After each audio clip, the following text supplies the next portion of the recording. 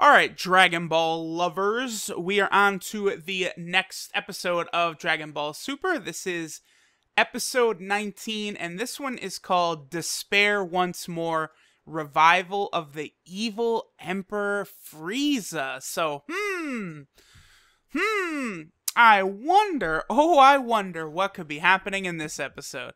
Anyway, so the first thing right off the bat to get into that I thought is very interesting is there's been some changes in the opening. The opening, it's still the same song, but uh, there's a couple changes I noticed. You see uh, Jacko or Jaco, the space cop or whatever, you see him uh, quickly in the shot with Bulma, Trunks, and Vegeta. Then uh, you see uh, Frieza and a couple of his soldiers, and uh, you actually see a shot of Golden Frieza a little later in the opening. And then also in another section of the opening where before it had showed Goku and like the camera kind of like pans by a little bit and like a flash of red will go across Goku and you know it was hinting originally at Super Saiyan God Goku and stuff. Well, now that flash is blue and it's hinting at uh, Super Saiyan God Super Saiyan.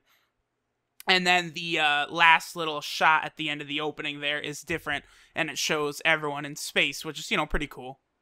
So this episode opens up pretty much in the same manner as the Resurrection of Frieza movie. Uh, we get a, a look at Hell and we see Mecha Frieza being tortured, and you know, Frieza's really not having a real good time there. Then it cuts back to Sorbet in his spaceship in space, and he's getting a report from one of his soldiers, and he's telling him basically that they've lost the equivalent of 60% of their men. And Sorbet is like, okay, enough is enough. We need to revive Frieza. We need to get momentum back. We need to build the army back up. Uh, so Sorbet then asks, like, you know, have we found where the new Namekians have gone? And, like, they say no. So Sorbet then says, like, well, fuck, you know, we need to go to Earth and we, we got to give this a shot. Now, the others are hesitant, obviously, because, you know, Goku, Vegeta, Piccolo, everyone is on Earth. But Sorbet thinks that if they get in there, like, real sneakily with not a lot of people, uh, and not strong fighters, since their energy could be sensed, that they could maybe steal the Dragon Balls from someone.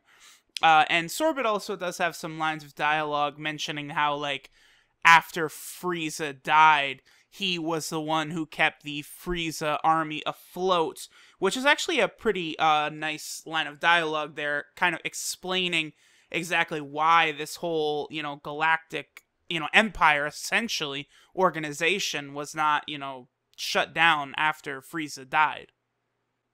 While Sorbet is also explaining some things, uh, we do get a nice little beautiful uh, like reanimation of the scene of when Frieza destroys Planet Vegeta. You know, it's the iconic shot that is shown 25 times in Dragon Ball Z where, you know, Frieza's laughing as like the particles of the planet are flying by and it looks like, you know, like a big, you know, fireworks in space basically. Uh, it looks pretty solid. At this point, it cuts to Goku and Vegeta still continuing their training with Whis uh, Whis is still, you know, giving them the business. No surprise there. Uh, they land, and Whis actually goes over some of the points that he makes in the Resurrection of Frieza movie about how Vegeta is thinking too much, which is holding him back, and how Goku is too relaxed, which holds him back. And also, Whis walks up and just quick tags him real quick, and Goku, like, you know, is, you know, clutches his chest. And Whis is like, you know, you're too relaxed, even, you know, as strong as you are, that makes you unguarded and you're too overconfident. Obviously, foreshadowing what's going to happen later. Uh, at this point, we're shown a scene where Piccolo is babysitting Pan, and, you know, he's having a good time and whatnot. And then Gohan and uh, Videl arrive back, and at that moment, Piccolo is like, huh, Nani? And, you know, he senses uh, what he describes as an unpleasant power that way. Now, this is a little annoying because what does Piccolo do? Oh no, I sense evil. I'm just gonna stand here and I'm just gonna say with Gohan, like, oh man, this unpleasant power. Not gonna get off my fucking ass and go check it out. Then it cuts over and we see the Pilaf gang has, you know, collected uh, the six Dragon Balls and they get their hands on the seventh when Sorbet and uh, his homeboy, what is it, Tagoma, they come in and steal the seven and summon Shenron. And of course, as Shenron is summoned, you know, the sky goes dark, typical, you know, Dragon Ball, you know, lore here. So what happens? We cut back to Piccolo, and guess what? Piccolo and Gohan are like, oh shit, someone summoned the dragon. Does Piccolo get off his fucking ass yet? No. All right. So now we're moving on, and uh, Sorbet, you know, asks Shenron to revive Frieza, and this part is actually cool because Shenron, you know, explains how the body of Frieza was cut up long ago, and they actually show us the exact scene from Dragon Ball Z, which I do like. Like rather than reanimate it, they're just showing us the the scene from you know Dragon Ball Z. What was that? That had to have been shown in like 1990 or 1991. Like that scene is as old as I am. This shit is crazy.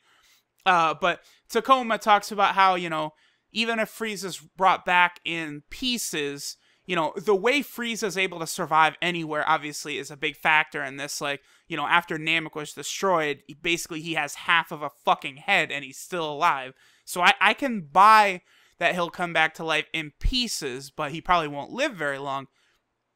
But uh, I guess their healing machines have probably advanced quite a lot in the what what has passed uh 10 maybe 10 11 12 years something like that since uh the battle on Namek and so they go ahead with the wish Frieza's revived in pieces and now here's something I find fascinating Shenron then tells them you have two more wishes.